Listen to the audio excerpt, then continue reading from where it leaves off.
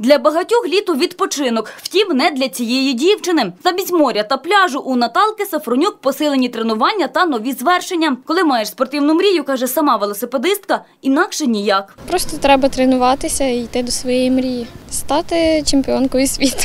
На крок ближче до мрії Наталка стала вже цими вихідними. У Чернівцях на змаганнях з крос-кантрі та шорт-треку дівчина виборола медалі. Траса була важкою і дуже довгою.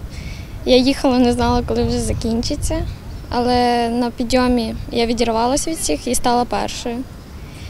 Е, На шорт-треку я також стала першою, від'їхавши на підйомі від всіх. Насправді учасників було вдосталь, бо ж у складі збірної кожної області виступали жінки, юніорки, старші та молодші дівчата. Практично були представлені всі регіони України, які культивують цей вид спорту.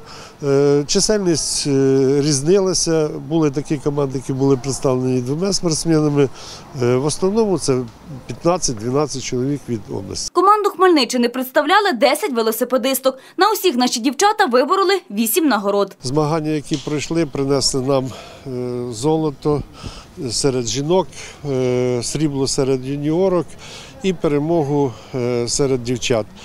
Таким чином ми завоювали всі можливі нагороди, в яких були представлені наші спортсменки. А попередньо наші велосипедистки відзначилися у критеріум гонці, що проходила у три етапи. Перший у Харкові подільські спортсменки пропустили. Втім, двох наступних у Хмельницькому та Первомайську вистачило, аби перемогти. З перших кругів я поїхала відрив.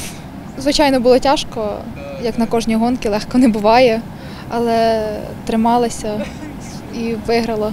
Ще раз відзначитися на змаганнях національного календаря хмельницькі велосипедистки зможуть вже у четвер. 16 серпня у Чернівцях стартує чемпіонат України у багатоденній гонці та гонці вгору і триватиме аж до неділі. Тетяна Кукуріка, Роман Судаков. Головні новини Хмельниччини.